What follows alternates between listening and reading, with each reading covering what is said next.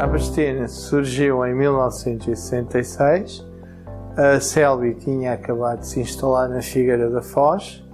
A surgiu como um dos grupos que iria fornecer essa nova fábrica. Com o passar do tempo, os fornecimentos alargaram-se. Uh, atualmente, a Bastena é um dos grandes fornecedores de Portugal, principalmente dos grupos Altri e Grupo Navigator.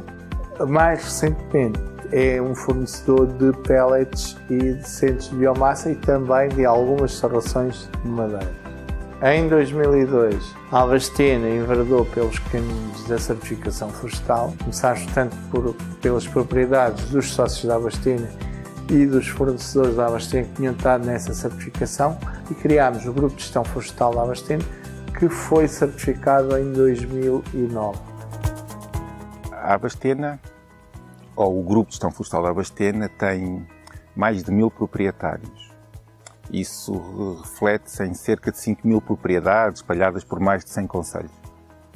Como imaginam, gerir toda essa informação que vai desde os perímetros da mata, que é feito com o levantamento topográfico, desde a caracterização da mata, espécies que lá estão, o plano de gestão, toda a informação relevante, quer seja climática, quer seja edáfica, gerir tudo isso sem um suporte geográfico que nos permita cruzar a informação existente, recolher nova, é impossível. O SIG e to toda a informação de gestão da informação digital permite-nos localizar as propriedades, caracterizar as propriedades, definir planos de intervenção e acompanhar a gestão ao longo do tempo.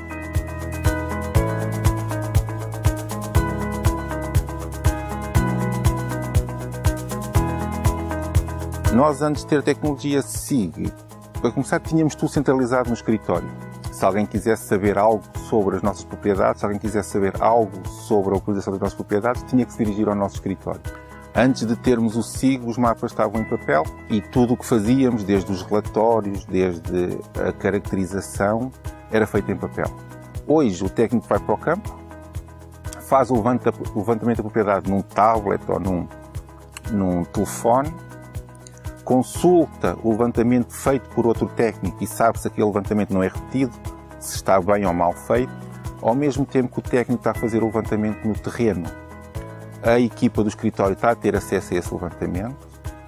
É-me permitido cruzar o levantamento que estou a fazer com toda a informação digital existente, desde a parte climática, desde a parte edáfica, desde a rede hidrográfica, rede de caminhos, tudo isso é cruzado instantaneamente e em tempo real.